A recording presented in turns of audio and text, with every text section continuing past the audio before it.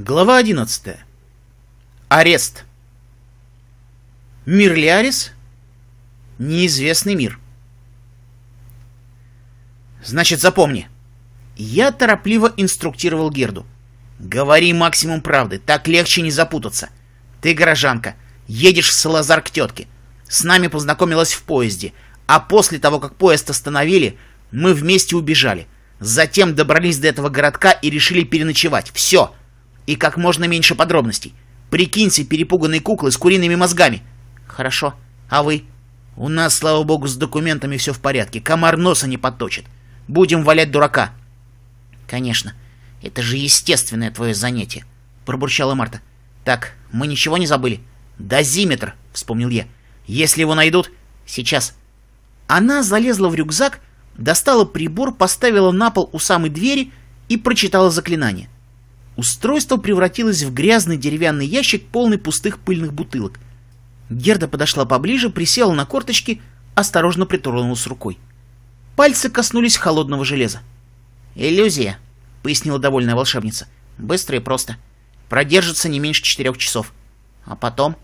«А потом, полагаю, в этом доме случится маленький пожар. Такое часто происходит в заброшенных строениях, знаешь ли». С этими словами Марта быстро зашвырнула под кровать какой-то шарик. На лестнице загрохотали шаги. Мы вернулись на свои места перед печкой. Дверь распахнулась. На пороге возник человек в резиновом костюме. В руках он держал короткий автомат. «Встать! Руки за голову, лицом к стене!» — рявкнул он. Марта громко взвизгнула и вцепилась мне в руку, словно барышня, увидевшая крысу. Герда окаменела я, успевший нацепить на нос очки с толстенными стеклами, вжал голову в плечи. «Встать!» — вновь рявкнул солдат и шагнул в комнату. Следом за ним в помещение вошли еще двое. «Дорогая!» — проблеял я, поднимаясь на ноги. «Ты... ты слышала, что сказал господин офицер?» «Давай, вставай!» «И отпусти, наконец, мою руку! Синяки же останутся!»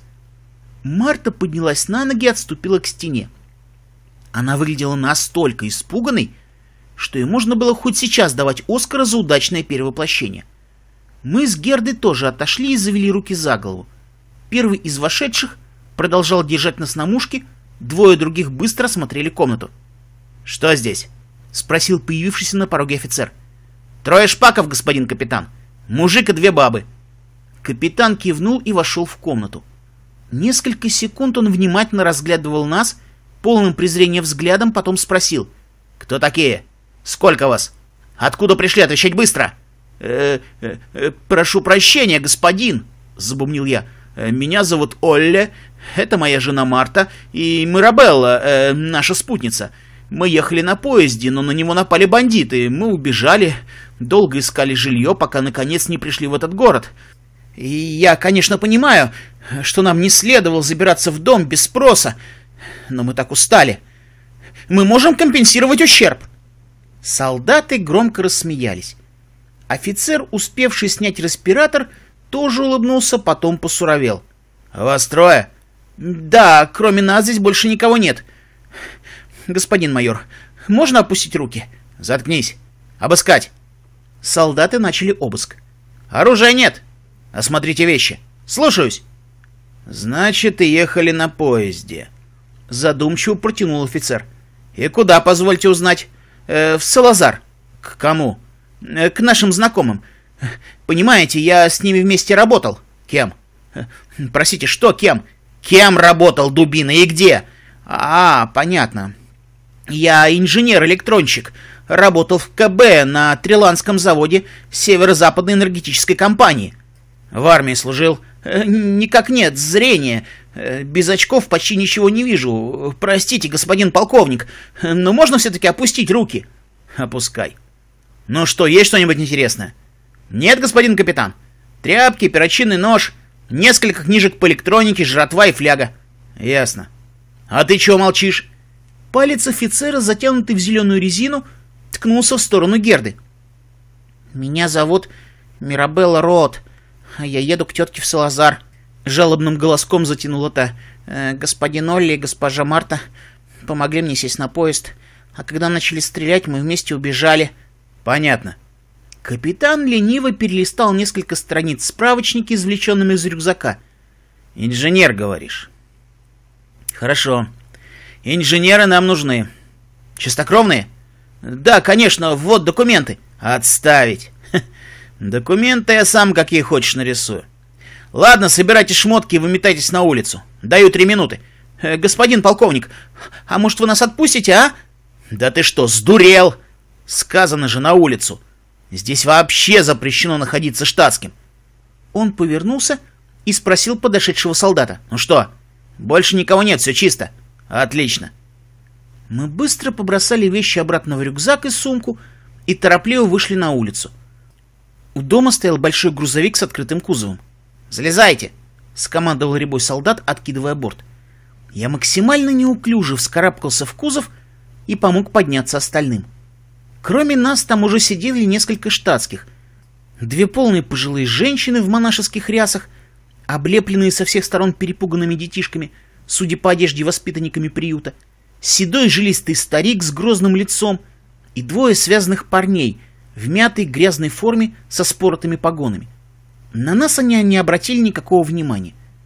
Мы уселись вдоль борта и принялись ждать. Уже практически стемнело, было холодно и неуютно.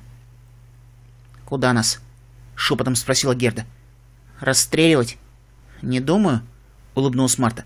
«Если б хотели расстрелять, то сделали бы это прямо здесь, на улице. Зачем куда-то везти, сама подумай». Грохнули доски, в кузов запрыгнули двое солдат. Они подняли борт и уселись рядом. «Ну давай уже, поехали, Соня!» — крикнул один из них и громко рассмеялся. Послышался звук заводимого мотора, затем грузовик тронулся с места. Не включая фар, он выехал из города и начал медленно, словно на ощупь, карабкаться вверх по узкой горной дороге. Ехали молча. Стало совсем темно, но водитель по-прежнему не зажигал фар. Возможно, у него в кабине стоял прибор ночного видения — иначе мы бы уже давно врезались в скалу или слетели в пропасть. Я осторожно прочел заклинание глаза совы и, приподнявшись на локте, стал оглядываться по сторонам. Дорога поднималась все время вверх. Несколько раз мы проехали сквозь тоннели, потом начался головоломный серпантин. Признаться, было очень страшно. Наконец грузовик въехал в узкое ущелье, над которым оказалась натянута маскировочная сеть. Дорога стала значительно лучше — Водитель поддал газу, машина побежала веселее. «Похоже, мне известно, куда нас везут», — сказал я. «К тем самым вратам?» — спросила Марта. «Да». «Думаю, мы узнаем ответы на многие вопросы гораздо раньше, чем планировалось. Одного не могу понять, зачем им столько людей? Уверен, что все пассажиры с нашего поезда тоже проехали этой дорогой. Решили всерьез заняться колонизацией, полагаю?» — пожала плечами Марта. «Ты же сам слышал. Им нужны инженеры-электронщики». «Но зачем?» «Сквозь врата невозможно пронести ни целый прибор, ни детали. Займутся изготовлением на месте делов-то». «Ерунда.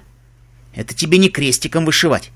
Даже для того, чтобы собрать простенький радиоприемник, требуется развить кучу технологий. Им придется возводить всю промышленность с нуля, а это дело на десятилетия. А если за вратами Другой техномир? Не думаю. Там у них не будет никаких преимуществ. Хотя, что гадать, поживем увидим. Ущелье тем временем расширилось. Становилось ясно, что поездка подходит к концу. По обеим сторонам от дороги сновали люди, стояли грузовики, бронетранспортеры, танки. Штабелями поднимались к небу пирамиды тюков и ящиков. Пахло бензином и мокрым железом. Ревели моторы, звенел металл, но весь этот шум перекрывал низкий глухой гул, от которого заныли зубы и заломило в затылке. «Смотри!» — сдавленно воскликнула Марта и ткнула пальцем куда-то вперед. Я встал и посмотрел в указанном направлении. Увиденное потрясло больше, чем даже недавнее приключение с таинственной пиявкой. Термин «врата» на самом деле достаточно условен. Теоретически по форме — они больше всего напоминают неровную кляксу, размером от 2 до 6 метров, лежащую на земле и заметную только избранным. Никаких столбов или запоров. Для активации достаточно встать сверху и послать соответствующий мысленный приказ. Но врата, к которым сейчас подъезжали мы, были самыми настоящими воротами, в прямом смысле этого слова, представляя собой огромную арку высотой метров 10 и шириной 15, собранную из толстых чугунных блоков, соединенных гигантскими болтами. Они словно сошли с картинки прижизненного издания романа Жюля Верна. Архитектор, создавший этого монстра, явно был поклонником стиля стимпанк. От ворот исходил тот самый низкий гул, замеченный ранее. К ним тянулись толстые бронированные кабели, между фарфоровыми изоляторами иногда проскакивали искры. Пахло озоном. Грузовик снизил скорость и поехал точно по осевой линии, прочерченной на земле фосфорицирующей краской. Чугунная громада величественно проплыла над нашими головами и... И внезапно в глаза ударил яркий солнечный свет. На той стороне был день. Теплый летний день. «Добро пожаловать в дивный новый мир!» Торжественно провозгласил я, чтобы хоть как-то разрядить напряжение. «На самом деле, мне и там было неплохо», — проворчала Марта. Интересно, куда нас черти занесли? Ты не знаешь? Сейчас посмотрим. Для ориентирования на местности требовалось не так уж много времени. Сначала следовало прочесть заклинание, затем быстро взглянуть на солнце, потом прикрыть глаза и прокрутить в уме спектральные характеристики всех известных светил. «Ты, конечно, будешь смеяться, дорогая», — медленно произнес я, выполнив все указанные выше действия — но это Ириан? Топинамбур в электролите, бросила в сердцах моя верная спутница. Но почему нас все время швыряет именно сюда? Карма? Я развел руками.